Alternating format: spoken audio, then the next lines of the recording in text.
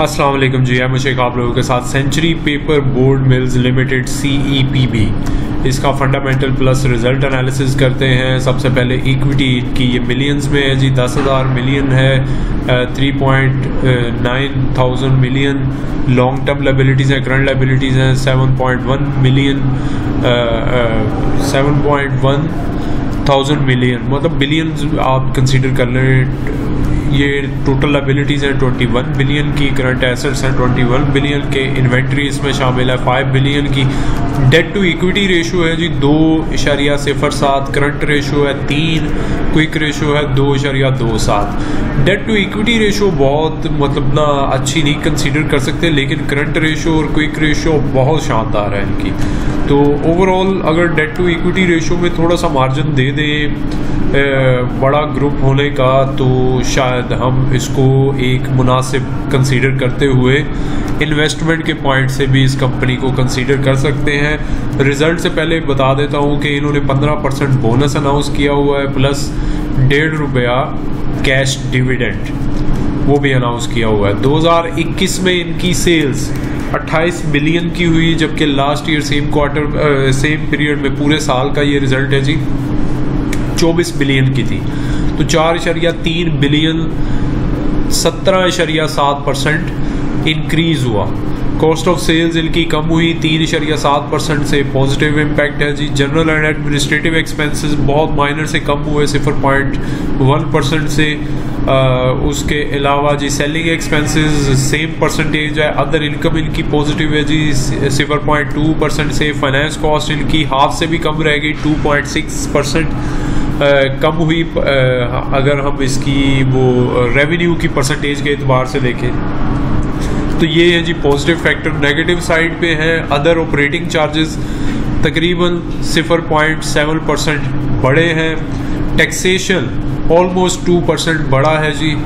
और net profit अगर हम देखें तो दस इशारिया तीन परसेंट बनता है, जबकि लास्ट ईयर सेम क्वार्टर में छः इशारिया तीन परसेंट था।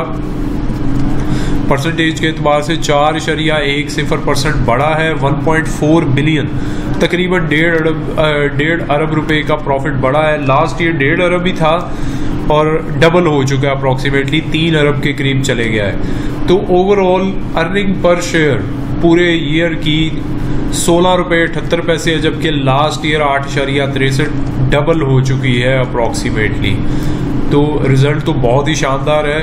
अब इसके दूसरे बिज़नेस को अगर थोड़ा सा एनालाइज करें तो ये इनोवेटिव प्रोडक्शन की तरफ़ बड़ी तेज़ी से बढ़ रहे हैं। और ये आहिस्ता आहिस्ता इन्होंने टेक्नोलॉजी और दूसरी जो रिसोर्स हैं, वो भी अडॉप्ट करना शुरू कर दी हैं। कंपनी अपने प्लांट की जो मॉडर्नाइजेशन और रिप्लेसमेंट है, उसके लिए चार अरब रुपया तकरीबन लगा रही है। और इसमें से बहुत सारा एक्सपेंस पहले भी लगा चुकी है। और ये अपनी प्रोडक्शन फैसिलिटीज़ को बेहतर करने के लिए। टेक्निकल कोलेबोरेशन के लिए इन्होंने फॉरेन वेंडर्स के साथ कुछ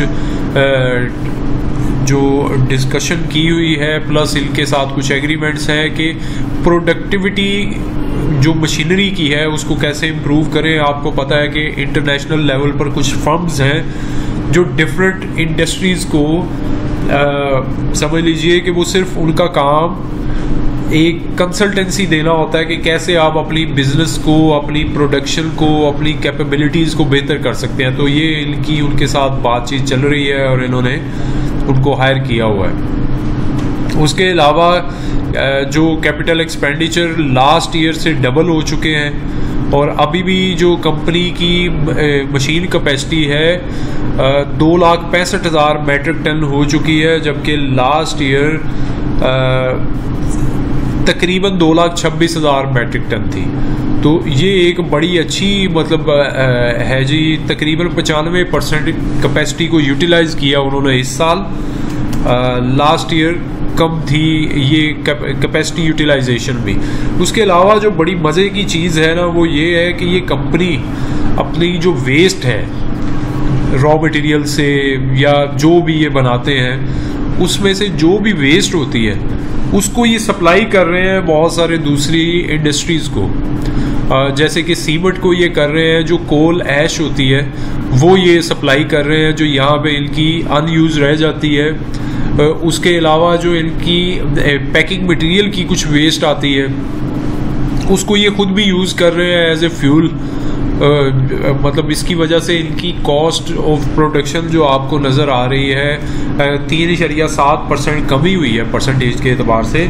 उसमें बड़ा मार्जिन इसका भी है प्लस इन्होंने प्राइसेस भी बढ़ाई पिछले दिनों क्योंकि इंटरनेशनल मार्केट में रॉ मटेरियल बहुत एक्सपेंसिव हुआ है।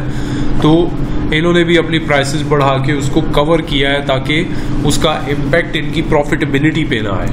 ओवरऑल ये कंपनी बड़ी अच्छी है ग्रो कर रही है। और कंपनी अपनी प्रोडक्शन फैसिलिटीज़ कैपेसिटीज़ और उसकी जो एफिशिएंसीज हैं, उन सब पे काम कर रही है। तो इस एतबार से एक्सपेक्ट किया जा सकता है कि नेक्स्ट ईयर इसकी रेवेन्यू जो है कम अज़ कम 10 से 20 परसेंट मज़ीद बढ़ेगा और ऑब्वियसली प्रॉफिटेबिलिटी भी बढ़ेगी।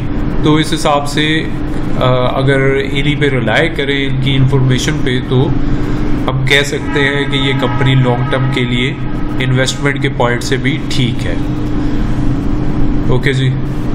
बाइंग सेलिंग अपने हिसाब से करिए, ये कोई बाइंग सेलिंग कॉल नहीं है। बस मैंने अपना ओपिनियन और एनालिसिस शेयर किया है। अल्लाह हाफिज़।